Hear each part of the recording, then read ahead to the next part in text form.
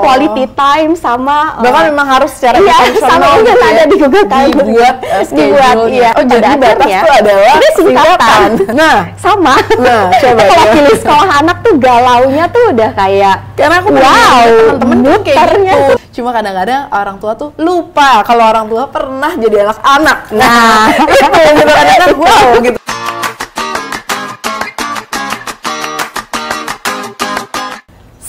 Assalamualaikum, apa kabar Hijab Family? Selamat datang di Hijab Podcast Persembahan dari Hijab Yang sudah kurang lebih 13 tahun hadir di Indonesia Sebagai platform brand modest terkemuka Yang terus menerus memantapkan posisinya Untuk terus merayakan keberdayaan perempuan Menjadi versi terbaik mereka Dan yang pastinya terus berkarya dan menginspirasi perempuan lainnya. Tentunya di jalan syariat sesuai dengan sunnah Rasulullah Sallallahu Alaihi Wasallam. Nama saya Syafira yang akan memandu hijab podcast dan pastinya di setiap episodenya kita akan menghadirkan sosok-sosok penting yang ada di Indonesia yang tentunya mereka ini menjalankan perannya luar biasa sesuai dengan keahlian mereka. Insya Allah dari ceritanya mereka nih kita bisa menggali ilmu dan ilmunya jadi ilmu yang bermanfaat tentunya bisa menginspirasi para hijab family di mana pun Anda berada. Nah sekarang kita bakalan ngomongin tentang uh, peran pendidikan yang ada di dalam keluarga. Wah, kita kalau ngomongin tentang fungsi keluarga nih ya, kayaknya bakalan panjang banget karena memang elemen di dalamnya tuh lengkap semuanya. Ayah, ibu, anak, dan semuanya masing-masing punya peran yang penting yang nantinya diharapkan bisa mencetak manusia-manusia terbaik yang eh, tentunya bisa membangun bangsa dan negara ini. Nah, fungsi pendidikan dalam keluarga juga jadi salah satu elemen yang sangat penting tidak boleh diabaikan. Bukan hanya pendidikan umum saja, tapi yang terpenting adalah pendidikan agama, yaitu agama Islam tentunya. Seperti apa sih kita mencetak manusia-manusia yang punya level keimanan yang baik sehingga bisa berperan dalam masyarakat sesuai dengan adab-adab tuntunan Rasulullah SAW. Nah, sekarang saya sudah bersama dengan CEO dan juga founder dari Batas, ada Mima Syarah. Assalamualaikum. Sebenarnya namanya Isyaraf ya, tapi kita panggil Mima aja. Iya. Karena anak-anak teman-teman semuanya keluarga yang manggilnya. Mima semuanya. Nih, kita kalau ngomongin tentang pendidikan, ini ka- kamu kita pasti akan mengulik sekali gitu bersama dengan Batas. Kita bakal ngobrolin tentang Batas lebih jauh lagi. Tapi sebelumnya aku mau Pak, aku pengen eh, apa namanya memastikan kalau dulu tuh kamu memang perempuan bekerja kan? Iya. Sekarang pun pastinya iya, tapi maksudnya Iya. secara profesional Iya. di luar rumah kamu eh, berprofesi gitu kan? Iya, Berprofesi iya. lain selain ibu rumah tangga. Ceritain dong gimana sih ceritanya sampai akhirnya sekarang kok fokus banget di dunia pendidikan nih? Iya, iya. Ini ini ini masya Allah ya. Hmm. Eh, Pertama-tama jazakallah khair buat kesempatannya, eh, juga dari hijab teman-teman semua. Ini bisa dibilang jernih proses perjalanan untuk semakin mengenal Allah, semakin dekat sama Allah gitu.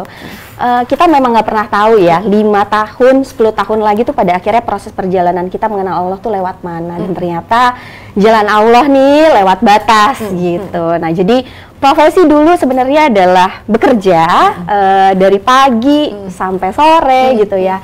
Tapi sudah punya anak juga tuh posisinya dari sebelum sampai punya anak, anak kedua lahir gitu ya. Jadi di situlah eh, tapi ada hati itu juga sebenarnya bergejolak gitu. Mungkin para ibu juga itu pasti ada rasa seperti itu gitu. Pada akhirnya di satu titik eh, kayaknya eh, ketemu sama salah satu hadis sebenarnya aku baca tiga amalan yang tidak akan terputus gitu di saat posisi saat itu sudah memiliki anak dan sebagai istri. Oke. Nah, di situ tuh kayak tiga amalan yang tidak akan terputus, sedekah jariah, ilmu yang bermanfaat dan doa anak yang soleh. Di situ tuh kayak eh, kira-kira kita bekerja biasanya untuk anak. Oke, Yang anak butuhkan apa? Untuk ke depannya tuh apa gitu ya? Kita pengen doa anak yang soleh. Apakah aku sudah menjadi ibu yang soleh gitu? iya. Dan dari yang tiga amal yang tidak akan terputus tadi, itu tuh aku bilang sama suami, kayaknya selama ini aku kejarnya adalah dunia deh. gitu. Hmm. Sedangkan yang anak-anak butuhkan adalah kehadiran gitu. Jadi merasa di situ kayak belum menjalankan fitrah sebagai ibu maupun istri dengan baik gitu. Saat itu resign, tapi suami tahu kayaknya tipe yang nggak bisa diem. Aku cuma bilang sama Baby karena sama suamiku gitu ya, karena selama ini adalah kejar target dunia gitu ya. Kalau misalkan besok aku kenapa-napa atau aku dipanggil sama Allah, apakah bekalku sudah cukup? Ah. oke. Dari yang tiga amal hadis tersebut Betul. gitu. Jadi dari situlah bilang sama suami, resign ingin membuat sesuatu yang bermanfaat untuk umat yang di mana pada akhirnya misinya adalah misi akhirat. Oke. Karena aku percaya insya Allah dunia tuh insya Allah akan ngikutin ngikut sih. juga gitu Ikut ya. juga sih. Nah, gitu. Mim, tapi kan kita kalau ngomongin tentang uh, seorang perempuan gitu. Hmm. yang memang uh, udah terpapar dengan uh, dunia pekerjaan secara profesional di luar rumah gitu ya. Ada hal-hal yang kayaknya bisa deh diseimbangkan. Iya. Ada ego nih Iya. gitu ya. Walaupun kayak aku juga pengen kok jadi istri yang baik atau ibu yang baik. Iya. Aku ikut kajian juga Iya. kok. Aku Iya. belajar juga dan Iya. semuanya gitu kan. Nah, pada waktu itu kan kamu kamu tadi bilang di awal kamu uh, tetap bekerja di awal nih walaupun udah punya anak dan sebagainya, menjadi istri juga gitu. Pada waktu itu ada kesulitan nggak sih menyeimbangkan antara karir di luar rumah dan juga uh, menjadi Oke. seorang ibu dan istri gitu? Atau memang hal tersebut juga berbenturan? Oke, waktu itu cukup berbenturan ya, Hmm. gitu. Apalagi mungkin eh, anak sakit, Iya, tapi kita harus izin nih gimana nih, gitu kan ya. Eh, makanya di situ selain pada akhirnya memang kebetulan memang aku dididik dan dibesarkan dari keluarga yang entrepreneur. Jadi kayaknya dulu waktu kecil tuh inget gitu ikut proses perjalanan papa usaha gitu ya. Nah papa tuh dulu usahanya umur haji. Jadi aku tuh sempat nanya ke papa, kenapa papa usaha ini? Usaha apa yang eh, bisa buat bekal papa pulang juga? Ya itulah aku juga terinspirasi dari situ Oh, gitu. Jadi eh, nah ketika berbenturan tadi gitu ya, ketika resign selain memang eh, ini bisa bermanfaat gitu ya. Salah satu cita-citaku adalah batas ini bisa jadi wadah para perempuan yang ingin berkarya tapi tetap bisa menjalankan fitrahnya sebagai istri dan ibu. Oke, Masya Jadi eh, di sinilah mungkin wadah yang ya selain tadi pahala jariah tadi untuk bekal pulang, tapi memang value itu sih yang ingin kita tanamkan di sini gitu. Karena aku punya rasa bergejolak tadi gitu. Kenapa enggak? Pada akhirnya kita membuat wadah itu. Karena ternyata ketika aku mau ngobrol sama teman gitu, bukan berarti yang bekerja juga nggak baik Ah, ya, ah, tapi betul. memang semua perempuan itu punya proses journey-nya tuh masing-masing. Dan kita tuh tidak bisa menjudge gitu ya. Karena itu kembali lagi panggilan hati itu semuanya datang dari Allah gitu ya. Ya mungkin jalan prosesku tuh lewat sini karena di situlah aku belajar bagaimana ternyata tugas utamaku adalah menjalankan fitrah sebagai ibu dan istri tapi batas adalah sebuah yang mungkin wadah yang memang bisa aku misi hidupnya nih apa nih? Allah Oke. Allah menciptakan aku di dunia untuk menjalankan apa gitu. Betul. peran oke sebagai istri dan ibu tapi apa impact apa yang bisa aku lakukan? Di situlah panggilan pada akhirnya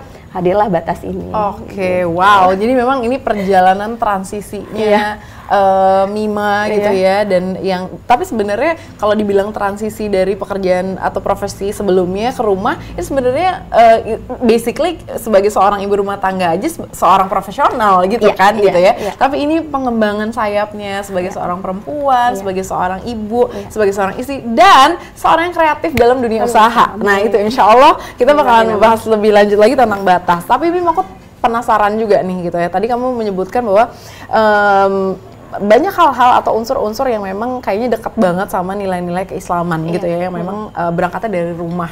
Yang kayaknya kayaknya nih kalau dari tadi kamu sampaikan kayaknya kamu juga berusaha untuk menerapkan itu di rumah Iya. gitu. Kayak tadi doa anak yang soleh apakah aku udah menjadi ibu yang soleh Iya, sehingga aku bisa berhak mendapatkan doa itu dari anak? Gitu. Iya. gimana sih caranya kamu menerapkan em, pemahaman tauhid gitu ya eh, Islam keimanan di dalam rumah Iya. eh, sampai akhirnya menjadi spirit untuk eh, di luar rumah juga? Iya, yang pertama itu ya kita sebagai orang tua ya pertama ya ini anak tuh adalah amanah.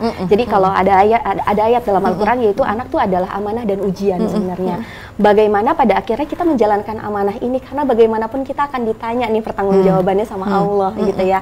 Jadi kalau misalkan ya tadi berbekal sebagai ibu dan berbekal sebagai eh, istri gitu ya, di situlah eh, bagaimana kita bisa menjalankan peran ini dengan baik. Aku pun sampai sekarang sebenarnya masih sangat perlu belajar, Mas Safira, dan terus untuk belajar. Semua tugasnya mesti Tugasnya, belajar. yang penting nomor satu adalah eh, ya dari menjalankan amanah itu bagaimana pada akhirnya kita bisa mendidik. Kembali lagi ya, mendidik anak ini oke untuk pendidikan, sekolahkah, di sosialkah, atau pada akhirnya mereka menemukan purpose-nya mereka juga.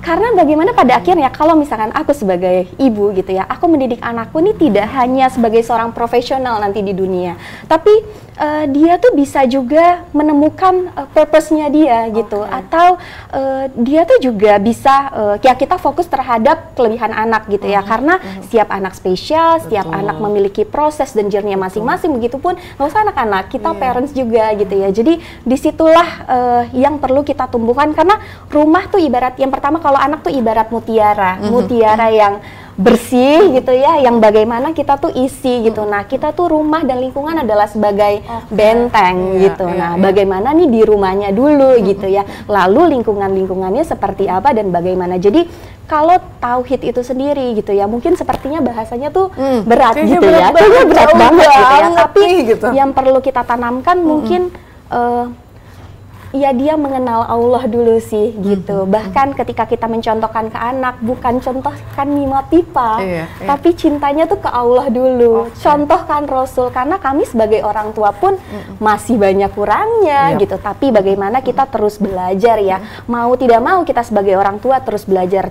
nggak cuman yang sudah menjadi orang tua, mm-hmm. tapi yang belum pun juga kita terus nah, perlu untuk punya PR gitu. PR-nya ya. banyak. Nah, ini uh, menarik deh kalau kamu tadi cerita tentang bahwa uh, men menumbuhkan ekosistem yang memang saling mm. support di rumah, mm-hmm. anak tuh diibaratkan uh, seperti mutiara atau seperti ta tanaman gitu ya. Yeah, yeah. Di uh, siram, dipupuk iya, semuanya iya, sampai iya. akhirnya anak itu bertumbuh dan iya. sebagainya tergantung dari akar dan iya, iya. apa namanya ketika penyemai dan iya, semuanya gitu. Iya gimana support system yang menurut kamu uh, apa yang paling uh, dalam proses ini dalam perjalanan ini dibutuhkan apalagi kan uh, ya balik lagi gitu menanamkan nilai-nilai keimanan itu kan hmm. PR iya, banget yeah, yeah. dan ya, tadi Mima juga sempat bilang bahwa semua ini akan ada pertanggungjawabannya dan sebagainya seperti apa support system yang menurut kamu uh, mungkin udah pernah dialami atau didapetin yang bisa di-share? Iya oke. Okay. Mungkin uh, ini support system tidak hanya mungkin di rumah mm -hmm. ya, begitupun uh, lingkungan kita sekitar mm -hmm. ya. Ini kembali lagi adalah puzzle-nya Allah karena semuanya adalah miliknya Allah. Yeah. Itu juga yang mungkin aku tanamkan ke anak-anak mm -hmm. gitu ya. Allah tuh bisa aja ambil semuanya besok yeah. kita gitu, Bener. tapi ya kembali lagi Allah maunya kita tuh ngapain gitu impact apa yang mungkin bisa kita lakukan gitu manfaat apa yang bisa kita lakukan. Jadi kalau misalkan tadi mau ngomongin support system selalu doa sama Allah sih. Iya. mudah-mudahan Allah berikan support system yang memang tulus dan memang memiliki value yang sama nih. Nah ini value yang sama dan visi misi yang sama sama kita. Itu dulu sih gitu. Ibaratnya sesederhana gitu ya uh, ya support system terutama dari suami, dari keluarga, ya dan yang paling penting adalah menurutku komunikasi sih. Komunikasi. Uh, komunikasi, uh, quality time. Mm -hmm. Ya itu itu itu penting banget. Jadi kalau misalkan aku lihat Google Calendar ya, itu aku selalu ada quality time with sama Besya Sabi. Oh. Bahkan quality time sama bahkan uh, memang harus secara iya, sama gitu ya. ada di Google Calendar dibuat uh, dibuat iya, karena iya. memang baik lagi nih kadang-kadang manusia tuh suka lupa iya, gitu kan. Iya, memang iya. kita manusia udah lupa aja lupa iya, aja walaupun sebenarnya niatnya dari awal udah difokusin ke situ. Iya. Ya fitrahnya itu yang mungkin kita bener. jaga ya. Bahkan kayak visit ke orang tua tuh juga ada Google harus ada jadwalnya. Menarik banget nih ya nah, ini uh, mungkin kita sekarang ngomongin tentang yang uh, kamu uh, sangat concern yeah. gitu yaitu dunia pendidikan yeah. khususnya uh, bukan hanya di rumah tapi juga untuk anak-anak uh, apa namanya difokusin. Menurut kamu nih Mim gitu, pendidikan anak yang uh, ideal gitu ya dengan uh, konsep tauhid dengan konsep keimanan tapi juga tetap menjadi seorang anak yang nantinya tumbuh besar yang bisa berfungsi secara sosial itu kayak gimana sih? Oke mungkin ini seperti kurang lebih visi misinya batas juga mm -hmm. ya pada mm -hmm. akhirnya bagaimana kita bisa menghadirkan generasi-generasi mm -hmm. dengan value Islam mm -hmm. itu tadi mm -hmm. gitu ya uh, bagaimana setiap anak ini makanya kenapa batas tuh tadinya tuh belajar Al-Quran sampai tuntas iya. oh, jadi batas tuh adalah singkatan belajar Al-Quran sampai tuntas okay tahun ini kita akan bertransformasi menjadi bio learning Al-Quran oh. through technology, art, science, and sport. Wah, beda banget kan gitu. Jadi okay. jadi pada akhirnya bagaimana kita bisa memberikan pembelajaran impact yang lebih luas lagi karena di proses perjalanan ini anak-anak hmm. kita tuh tadi akhirnya nggak cuman hanya uh, saingannya tuh hanya untuk sama sesama orang Iya, gitu ya. benar, Tapi AI Iya. dan sebagai bagaimana pada akhirnya anak-anak kita ini memiliki value-value itu dan ya secara emosional pada akhirnya bagaimana ketika mereka membuat sesuatu yang bisa impact makanya kita mencoba hadirkan yang tadi gitu beyond learning Al-Qur'an. Oke, eh, belajar Al-Qur'an seperti belajar Al-Qur'an sampai tuntas yang seperti apa, memaknai Al-Qur'an yang seperti apa. Karena jernihnya anak-anak itu memang eh, berbeda gitu ya. Bagaimana akhirnya tumbuh dulu nih cintanya Al-Qur'an ke anak-anak Oke. itu. Bagaimana kita masuk ke dunia mereka melalui apa yang mereka sukai Oke, gitu. oke. Makanya tapi aku juga ada keresahan bagaimana adabnya anak-anak nanti. Anak pintar banyak tapi secara adab tuh seperti apa dan Betul, bagaimana gitu. betul. Nah, itu sih purpose of life itu sih sebenarnya yang harapannya batas bisa hadirkan gitu. Tapi anak-anak kita juga memiliki soft skill soft skill gitu ya, yang di mana preparationnya tuh for life gitu. Mereka Oke. punya ya itu anak Islam public speakingnya baik dan sebagainya. Dan ketika mereka tumbuh, ketika mereka menjadi entrepreneur, mereka bisa menjadi entrepreneur membangun suatu karya yang bisa bermanfaat untuk umat sih. Karena Betul. aku selalu bilang sama anakku tidak harus menjadi nomor satu tapi fokuslah kepada apa yang anak-anakku suka. Eh, yang mudah-mudahan Mima juga diberikan ikli- ikhlas dan istiqomah terus ya untuk menjalankan ini. Begitupun dengan murid-murid yang batas yang lainnya karena aku merasa itu adalah amanahnya Allah sih Amin, gitu jadi eh, ya semoga impactnya bisa lebih luas lagi Amin, bisa dapat manfaatnya lebih banyak lagi gitu Dan ya, bekal kebermanfaat. pulang ya. Nah, itu dia tuh. Nah, ngobrolin tentang batas. Tadi eh, kamu jelasin bahwa awalnya kan eh, tempat belajar Al-Qur'an buat anak-anak gitu ya, belajar tanpa eh, tan- Belajar belajar Al-Qur'an Al-Qur'an tanpa tanpa batas. Sampai akhirnya bertransformasi gitu. Nah, apa aja nih berarti jenjang-jenjang yang ada di batas nantinya? oke. Em, apa aja yang akan diajarkan di sana? Seperti apa metodenya juga gitu? Seperti apa? Oke, nah insya Allah kalau misal jika Allah izinkan eh, kita akan ada nama amanah baru eh, yaitu sebuah tempat namanya Bata Space yang di mana di situ akan menjadi sebuah ekosistem Oke. untuk anak-anak dan keluarga. Harapannya setiap yang datang ke sana bisa menumbuhkan cintanya terhadap Allah, cintanya terhadap Islam dan kita bisa menunjukkan keislaman itu sendiri gitu. Jadi insya Allah tempat itu akan lumayan cukup padat gitu Oke. ya. Paginya insya Allah eh, akan ada preschool. Makan ada preschool. Iya, oke. insya Allah akan ada preschool yang di mana kita akan menanamkan di situ fitrah based education Wow. dan di mix dengan play based learning ya. Jadi mungkin eh, ya itu sih aku melihat eh, ada keinginan orang tua tuh untuk menyekolahkan anaknya ke Islam, tapi Islam yang memang cukup inovatif gitu Betul, dan memberikan betul. sesuatu yang baru gitu Betul. ya saat ini mungkin banyak gitu ya, tapi mungkin eh, yang berbeda juga di tempat ini adalah kita ada after school program yang disupport oleh batas itu sendiri gitu. Jadi akan menjadi empowering after school program yang tadi kelas nggak cuma kelas ngaji, akan ada kelas adab, akan ada kelas tahfiz gitu ya, akan ada eh, teknologinya juga tuh gitu. Ada akan ada coding, robotik gitu ya, Wow. Islamic science Betul, gitu ya. Jadi eh, dan art, begitupun art, begitupun dengan eh, akan ada sportnya juga gitu. Salah Wow. satunya swim. Misalkan Wah, berenang tapi akan dipisah tuh antara Laki-laki dan laki-laki dan perempuan. perempuan. Karena aku melihat masih belum belum Banyak belum banyak yang seperti betul. bahkan belum ada nih yang menja- untuk untuk menjadi satu sebuah eh, ekosistem ya untuk mengenai itu sih kurang Oke, lebih seperti itu. oke. Nah, insya Allah jika Allah izinkan akhir tahun akan ada kejutan lagi ya. Wah, Mungkin nanti insya Allah akan mudah-mudahan. jika Allah izinkan Semoga ya. Mudah-mudahan juga. Amin. Nah, kadang, nah sebagai em, mungkin gitu ya hijab family yang memang, wah ini kayaknya menjadi jawaban Hmm. gitu atas doa-doa para hijab eh, family di rumah gitu yang juga pengen eh, anaknya terlibat dalam proses pembentukan ekosistem ini gitu ya. Dunia pendidikan, aktif juga di olahraga, sains, apa pun itu Iya. gitu ya. Terlibat dalam apa sih yang lagi eh, mungkin dunia ini juga lagi eh, bergerak ke Iya, arah sana iya. gitu. Bagaimana dengan kurikulumnya? Nah, Oke. kan ada yang bertanya tentang Iya. kurikulumnya gimana? Iya, iya. Nanti anaknya overwhelm atau enggak? Nah, itu gimana caranya batas menjawab tantangan itu? Oke, nah memang kita tuh aimnya adalah love for learning ya. Jadi yang pasti kalau misalkan belajar Al-Quran, belajar sholat, pasti kita akan anak-anak itu kepalanya tuh pasti banyak sekali pertanyaan yang out of the box gitu Iya, ya. iya, iya. Jadi eh, mereka tuh harus dijelaskan dulu sih why-nya. eh, Kenapa kita sholat, kenapa kita mengaji, yang mungkin itunya juga. Dan biasanya kalau dibatas kita ada observasi di awal. Oh. Kita akan observasi, kita akan ngobrol dengan parents, nggak cuma parents anak. Anak tuh juga butuh didengarkan. Ah, Gitu. Kita sebagai dewasa aja kita Betul. seneng kan kalau didengerin Betul gitu. Mereka tuh juga butuh didengarkan Benar. gitu. Iya, iya. Mereka senangnya apa? Ya justru memang mungkin prosesnya akan lebih panjang, tapi hakikatnya setiap anak ini sudah ada fitrahnya. Yap. Tapi bagaimana kita bisa menumbuhkan dan merawat fitrah itu?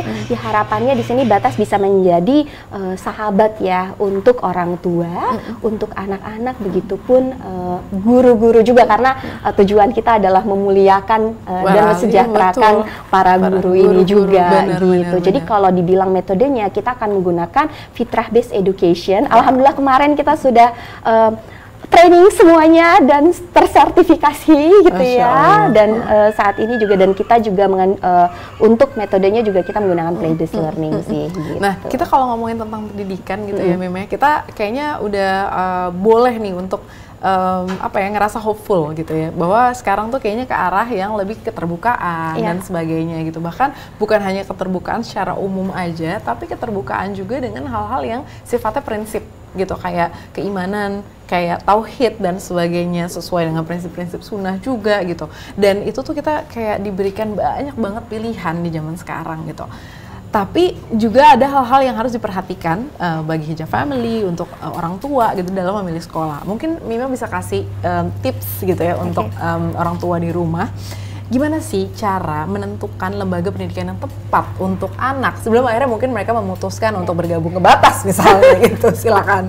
Iya, iya mungkin ini adalah eh, ini aku biasanya sama suami Nah, sama. Nah, coba kalau ya. pilih sekolah anak tuh galaunya tuh udah kayak karena aku wow, teman-teman kayak gitu teman-teman Iya, yang iya, punya iya. a- a- apa putra dan putri yang pengen sekolah tapi pertimbangannya banyak banget Iya, kebutuhan keimanannya harus Iya, terpenuhi iya, iya. pendidikan di Tapi luar secara juga for the future juga Betul, siap tapi gitu juga kan. secara kreativitas Iya, iya. dan sebagainya coba gimana nih zaman sekarang kayak Iya. tantangannya berat banget loh Makanya kita coba hadir. coba yuk, gitu Makanya batas coba hadir di situ dari ya kita mulai dari preschool, lalu ada after school program untuk eh, ya untuk melengkapi apa yang dibutuhkan oleh orang tua ya karena eh, di awalnya adalah kita ya memang untuk belajar Al-Qur'an pada akhirnya bertransformasinya cukup Pendidikan. cukup jauh karena kita mencoba berbicara dan ngobrol juga dengan parents-parents batas yang sudah berjalan. Tapi kalau misalkan tips-tipsnya adalah sebenarnya kembali lagi ke value setiap keluarga ya. Aku percaya setiap keluarga memiliki value masing-masing dan yang insya Allah itu adalah terbaik menurut Allah dan menurut keluarga tersebut. Jadi yang pasti eh, keluarga itu perlu menentukan value-nya, skala prioritas lebih ke yang mana, apakah memang lebih pengen fokus ke agama dan sebagainya, tapi kenapa enggak kalau misalkan ternyata ada satu lembaga yang bisa uh, mencakup semuanya, gitu. betul. Itu sih kurang lebih Oke, seperti itu. Jadi oke. memang value yang mau dituju tuh apa dulu gitu karena ini terjadi juga sih sama uh, aku dan suami gitu. Itu sih kurang lebih seperti itu. Oke, jadi memang semuanya itu dikembalikan ke keluarganya dulu Iya, ya iya, gitu. iya. Eh, setiap keluarga harus tahu uh, value-nya mereka Iya. apa dan apa sih tujuan jangka panjangnya, tujuan jangka panjang pendeknya seperti Iya, apa, iya. mengenali karakter anak juga Iya, penting, penting. bakat dan Benar, sebagainya. Karena balik lagi kadang-kadang orang tua nih suka lupa kalau uh, anak adalah makhluk gitu ya, yang juga punya kebutuhan, punya keinginan, punya hak, punya kewajiban gitu. Sama seperti orang-orang dewasa sebetulnya iya, gitu ya. iya. Cuma kadang-kadang orang tua tuh lupa kalau orang tua pernah jadi anak-anak. Nah.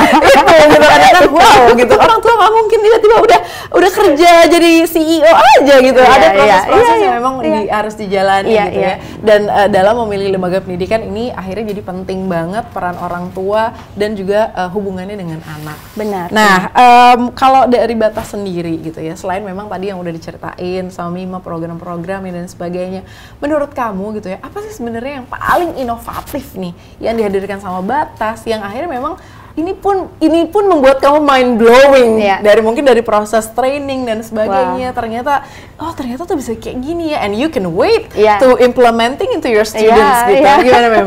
Wah, ini ini ini masya Allah ya, karena eh, aku percaya gitu terhadap proses bertumbuhnya batas, karena bisa dibilang batas tuh ini tahun keempat gitu, jadi dan ternyata masya Allah gitu. Allah tuh kasih amanahnya tuh luar biasa ya, tapi ya itu ya kembali lagi ya semoga Allah kasih rasa hati yang eh, ikhlas gitu ya dan niat yang istiqomah. Tapi proses perjalanan insya Allah yang tahun ini memang akan ini akan menjadi sebuah journey yang benar-benar akan berbeda gitu. Yang tadinya kita hadir ketika kita online di saat pandemi gitu ya Eh, uh, lalu kita beralih mulai ke offline gitu ya kita hadir di beberapa kota juga. Lalu pada akhirnya Allah amanahkan uh, tempat ini juga. Oh sebelum tempat ini ada batas tuh diamanahkan untuk menjalankan batas ditunjuk oleh Yayasan Kemensetnek Oh, untuk mengelola oke. preschool mereka. Pertanyaannya adalah kenapa batas yang ditunjuk yang Betul. di mana batas ini tuh belum pernah kelola sekolah. Betul. tapi ternyata itu jerninya Allah gitu. Memang kita perlu baca terus sih.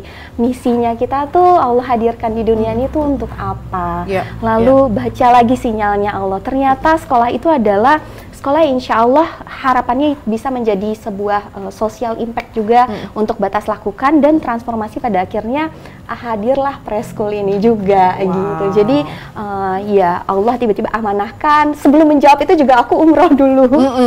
Harus kembali banget lagi. minta ya. iya jadi ownernya waktu itu nanya gimana Mima? Jadi nggak? Gitu ya. Aku bilang aku umroh dulu ya. Gitu aku bilang. Karena aku butuh jawaban di sana yang di mana ini adalah misi hidup atau ambisi. Nah, itu. Betul. niatnya adalah untuk impact. Ya ini impactnya sejauh apa? Manfaatnya sejauh apa? Jadi eh, sesuatu yang beda ya itu sih yang aku selalu bilang sama tim ya kita perlu menghadirkan USP dari tempat ini. Kenapa batas? Kenapa harus dibatas? Apa bedanya batas dengan tempat lain? betul. maka dari itu ya kita bertransformasi dengan batas yang baru ini. Beyond Oke. Learning Al-Quran through Oke. Technology, Art Science and Sport. Karena lembaga ngaji mungkin banyak dan banyak banget yang bagus-bagus, Yep. tapi yang pembelajaran secara holistik yang lebih luas lagi itu masih masih aku Masih belum terbatas. mendapatkan terbatas Oke. gitu.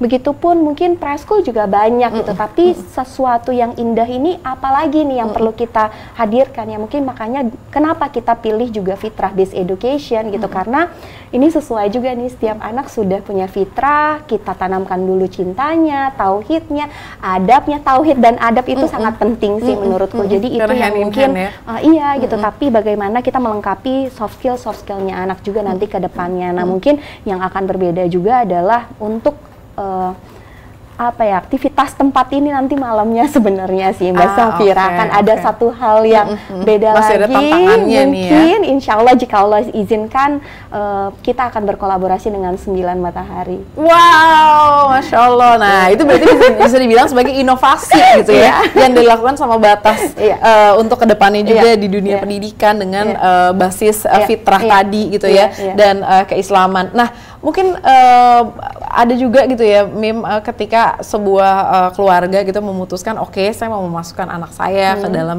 eh, lembaga pendidikan yang ber- memang berbasis agama, tapi juga bisa memenuhi hal-hal lain juga gitu ya.